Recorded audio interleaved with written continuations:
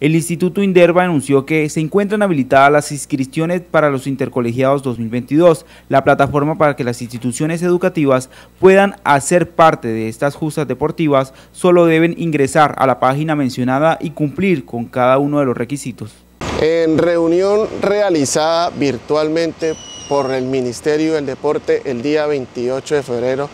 del presente año, donde nos informa acerca del proceso de inscripción que deben realizar, primeramente las instituciones y después los deportistas, esperando que el ministerio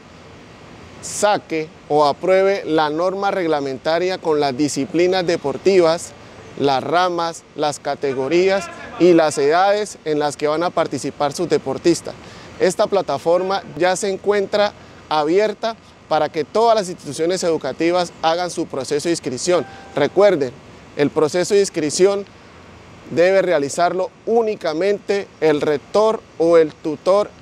encargado de la institución y tiene abierta la plataforma desde el primero de marzo hasta el 30 de abril del presente año. La invitación es para que todas las instituciones educativas del sector público, del sector privado, rural y urbanos hagan su respectiva inscripción para que este año todos los deportistas de las instituciones educativas hagan presencia en estas justas que tienen mayores beneficios para ellos.